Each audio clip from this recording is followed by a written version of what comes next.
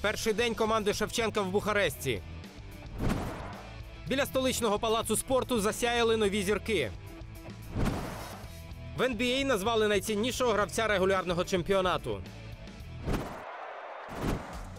Збірна України вже в Бухаресті розпочала підготовку до стартового матчу Євро 2020 В румунській столиці футболістів прямо з литовища перевезли до готелю Каро, де вона мешкатиме під час турніру. Лише наприкінці тижня команда Андрія Шевченка відлучиться до Амстердаму, де 13 червня зіграє з Нідерландами. Резиденцію збірної вже відвідав головний тренер Динамо Мірча Луческу. Допомагатиме команді й колишній півзахисник киян Флорін Чорнат. А тренер Андрій Шевченко на прес-конференції розповів, як гравці почуваються на новому місці. Однозначно какое-то давление игроки будут чувствовать, это нормально. Наоборот, я думаю, что это приятное давление, которое есть. Все-таки это финальная часть, это один из самых ответственных моментов. Поэтому ребята должны насладиться э, этим чувством давления, которое есть. Оно, оно очень приятно. И, и справиться с ним. Батареи 100% готовы, психологически, физически и ментально. И также по партнерам команде тоже могу сказать, что все ребята ждут, мы уже соскучились за этим Евро 2020. Ще один склад для Іспанії. Головний тренер Фурії Роха викликав на збір перед Євро 2020 11 нових футболістів. Усі вони гравці молодіжної збірної, яка напередодні у товариському поєдинку розтрощила національну команду Литви. Таке рішення коуч іспанців прийняв після того, як після Серхіо Бускетса ще один позитивний тест на COVID-19 здав Дієго Льоренте. Гравці молодіжки тренуватимуться окремо від основної команди. Раніше до табору національної збірної приєдналися ще шість нових футболістів. Ніякої пропаганди тютюнових виробів. Римське Лаціо на своїй офіційній сторінці в соціальних мережах креативно представило свого нового головного тренера. Ним став знаний італійський фахівець Мауріціо Саррі, відомий ще й тим, що полюбляє затягнутися цигаркою, причому не лише вдома, а й під час тренувань команди. На тренерському містку Орлів 62-річний Саррі змінить Сімоне Інзагі, який тепер керуватиме міланським інтером. Останнім місцем роботи Мауріціо був туринський Ювентус. Також Саррі тренував Челсі і Наполі. Коли з'явився зненацька, кумедний інцидент трапився під час футбольного матчу в одній з польських ліг. Коли гравці Пізи розганяли атаку і намагалися підібратися до воріт Олімпії, у центрі поля приземлився парашутист. За реакцією гравців обох команд стає зрозумілим, що такого розвитку подій вони не очікували. Арбітру нічого не залишалося, як зупинити матч і дочекатися, коли непроханий гість залишить арену.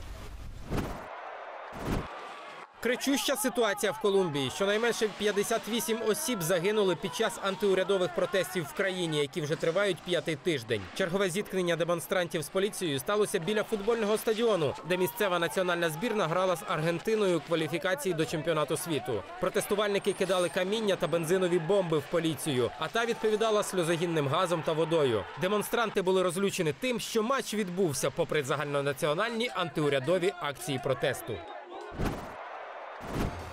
Площа зірок, що біля столичного палацу спорту, поповнилася ще трьома знаковими іменами. В урочистій обстановці було відкрито зірки легендарних спортсменів: олімпійської чемпіонки 2014 з біатлону Юлії Джими, чемпіона світу та Європи, світового рекордсмена з плавання Олега Лісогора та чемпіона Європи й інтерконтинентального чемпіона з кікбоксингу Віктора Дорошенка. Останнього з цією подією прийшов привітати колишній партнер по збірній України, а нині Маркиєва Віталій Кличко. Усі лауреати були вражені цією подією. Для них вона виявилася справжнім сюрпризом. Для меня это было не, неожиданность, потому что мы как раз были на сборе и делали тренировку.